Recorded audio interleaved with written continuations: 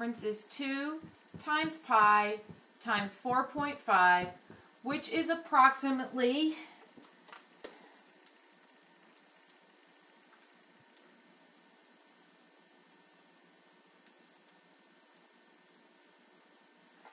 Nine times pi, which is twenty-eight point two seven four three three. That's good enough. So that's how many. Now this is not square units because remember this would be just how far you would walk if you walked around the outside of the circle. So we walk about 28.27433 units. If this were in inches, then these would be inches that we'd be walking. It'd be a very short walk. Now, what about finding area? Well, the formula for the area of a circle is A equals pi times the radius squared. So once again, we're just going to plug in the radius that we found, 4.5, and we will have area equals pi times 4.5 squared. That's how many squares it would take to cover this. Obviously, it's not going to be a bunch of whole ones because you can't fit a bunch of squares in a circle. So 4.5 squared times pi is going to give us, this is approximately 63.6173 square units. And that's how you go about finding your circumference, also perimeter of your circle, and the area of your circle, which is approximately 63 square units. Now in this problem, I'm being asked to find the perimeter and area of a semicircle. As you might guess, this is going to be related to our circle formulas, and we're going to want to know what it would take to walk all the way around the outside of this semicircle, including this piece, and that's my perimeter, and for the area, how many squares it would take to cover up this whole surface of the semicircle.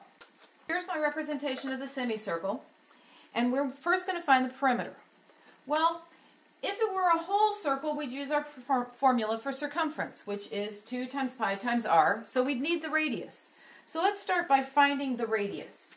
Well, all the way across the circle is 100, so we need to go halfway across the circle, so the radius will be 1 half of 100, which is going to be 50. Now, we're going to use that 50 the tempting thing to do is just say, okay, well, we'll take the circumference. A semicircle is half a circle, so we'll divide it by 2. Well, that's a good place to start. So let's start with 1 half. We're going to divide our circumference by 2 times 2 times pi times our radius, which is 50. But here's the problem with just doing that. If we only talk about going around the circle, we start here, work our way to here, and then we stop. We've completely missed this last piece of the semicircle because this is only upon the circular part. So we need to add in this last piece of the semicircle, the plus 100, and that will give us our whole perimeter. So when we calculate that, we get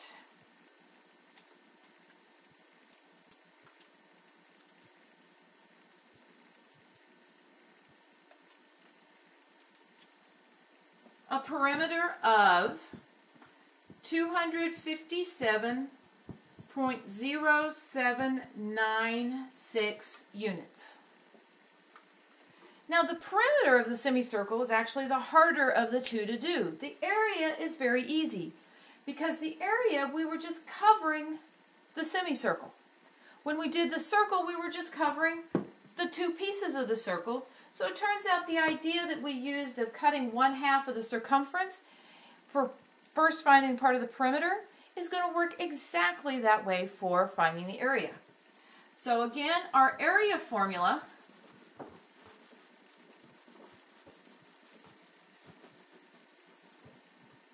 for a circle is area equals pi times the radius squared. And basically, we're going to want to find the area of the circle and then cut it in half because we have half a circle. So the area of this thing is going to be 1 half times pi times our radius of 50 squared. So that will turn out to be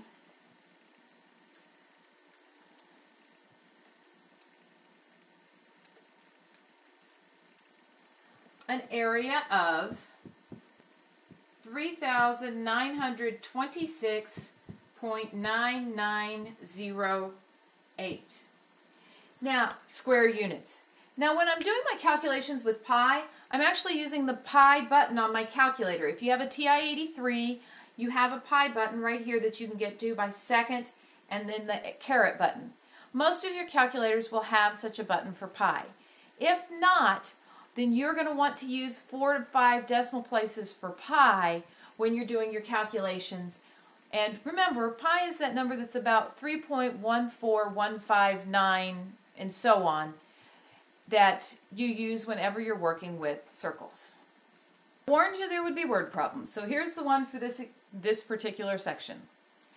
We're going to walk 100 yards south, then 100 yards west, then we're going to turn and walk 30 yards further south, and the question is, how far are we from where we originally started? Now, in order to do this problem, it's going to help to draw a picture. So let's draw that picture and see what it's going to look like. All right, we start by walking 100 yards south. So we're going to start here and head south, 100 yards. Okay, it's supposed to be a straight line. Then we walk 100 yards west. No, how far did we walk west? We walked 120 yards west. So most maps have west going this way, so we're going to walk 120 yards west. And then we walk another 30 yards south. Yes, I know this is not drawn to scale. And the question is, how far are we from where we started? Well, we started here, and if we draw a straight line to where we ended, again, it's supposed to be a straight line, it's that red line we want to find. Now this looks like a right triangle, and this looks like a right triangle, and the two pieces of the red line would make up the hypotenuse.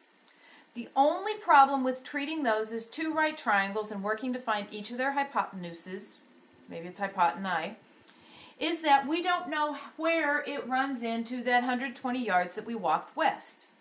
So the thing that's going to work better for this is to look at what if we moved the 120 yards west down so that it's at the bottom. Well, it's still going to be 120. So that's still 120. And if we take our 30 yards that we moved, walked south and instead had put it over here with our original 100 yards south, that's just going to be another 30 yards for a total of 130 yards in the south direction. Then the red line is the hypotenuse of a right triangle where one side is 120, one side is 130. These two sides are my legs. And the third side is what I'm looking for, C. So I'm going to calculate 120. Oh, so I can use the Pythagorean theorem. So I'm going to put in my legs into the Pythagorean theorem. So I'll get 120 squared plus 130 squared is equal to c squared. And I dropped my calculator.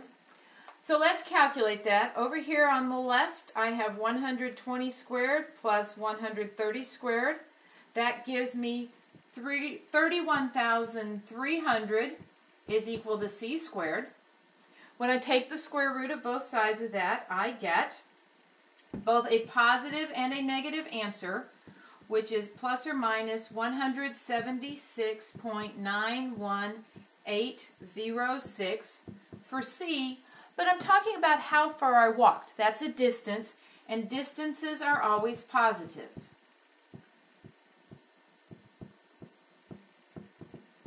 So since I only have a distance and it's positive, then my C must be 176.91806.